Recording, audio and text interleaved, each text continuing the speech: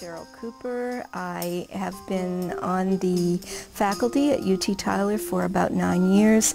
Prior to that, I worked in public health and community health as a nurse.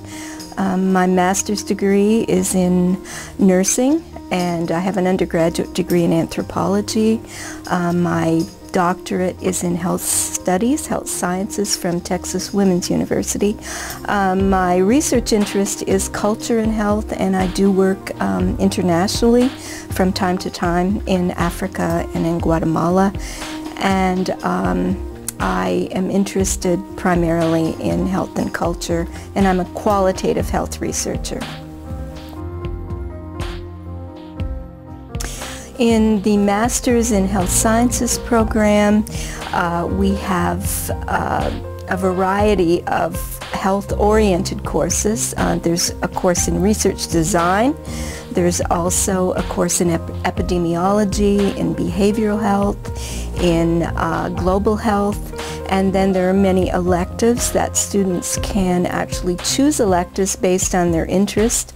Uh, we are very uh, individual oriented with students, so we like to know what their long-term career goals are, uh, what they dream of doing in the future, and we try to help them to design the program, to design their courses actually, based on those interests and what they'd like to be doing, say, five years from now or 10 years from now.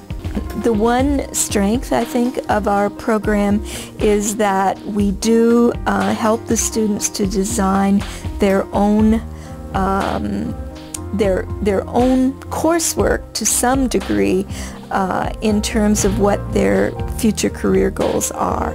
We like to help them to think ahead as to what they might like to be doing later on and help them to um, take the courses, especially the elective courses, that will uh, serve them well in a future career. And I think that is a, a strength of our program.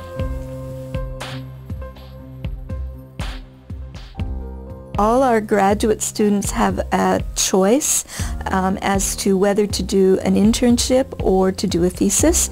We encourage a thesis. Uh, students are usually a little bit frightened of that at first, but we help them to prepare for that. If they choose to um, do an internship, a, a practicum, and we sometimes call it a field experience, then they choose, um, based on their future career plans, their interests, they choose a site. That could be an international site. They could go to another country to do their internship. Um, they could do something locally, working in community, which many of our students have done.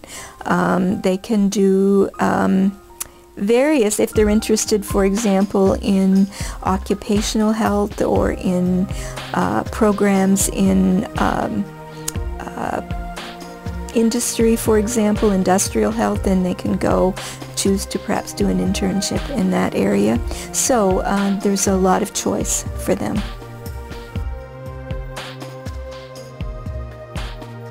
Our requirements in terms of uh, educational background are very uh, broad. Uh, we do look most closely though at the student's experience in uh, the health field if they come in and have already worked in the health field uh, but perhaps have not had a strong health background.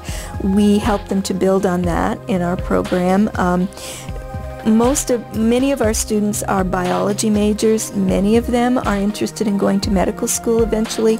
May not be quite ready to apply yet but want some a stronger background in health before they apply. Um, we also have many students who have degrees in social sciences, sociology.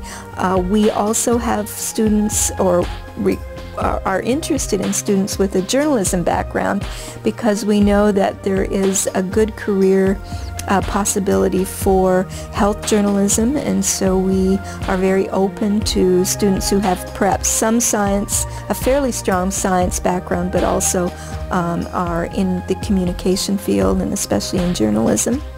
So we are, and nutrition as well. Uh, we have students who are who have come into our program who are registered dietitians uh, or have majored in nutrition. Uh, for students who may not um, have the background or the academic qualifications at a particular point to enter into our program.